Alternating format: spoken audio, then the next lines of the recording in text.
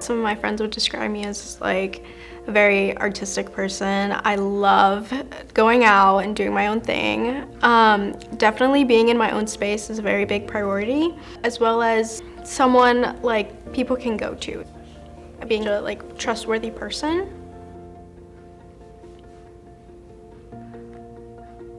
I'm really big into like alternative music along with EDM. I go to a lot of concerts, for sure, a lot.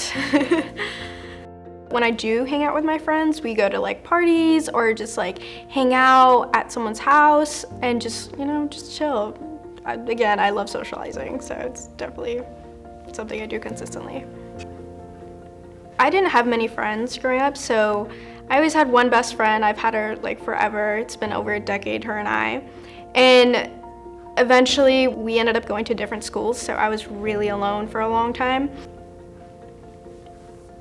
In eighth grade, whenever I first had my first like actual boyfriend, um, it was definitely a really weird process because like this is my first time having a boyfriend and having that experience was very confusing. It was very difficult because I didn't know what I was doing wrong. I didn't know if like I was doing things right. When the relationship became so overbearing, I just felt uncomfortable with it. I felt absolutely, I just did not want to be smothered in that and that left me feeling very overwhelmed. I guess when it comes to new relationships, it definitely gave me trust issues being able to go into another relationship was really hard for me at the time because I didn't know if this person was also going to turn out like the person I was with beforehand and that was a, an emotional roller coaster for sure. After it ended and everything, there was this time period where I was just really, really like in a dark place and I, I just needed some kind of support.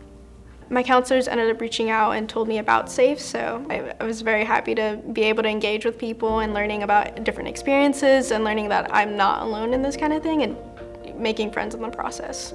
We do a little bit of meditation, which I love, um, and I love being able to talk about anything in that group, and especially with other people. Our main topics would definitely have to be relationships. Relationships is a really big thing in our group.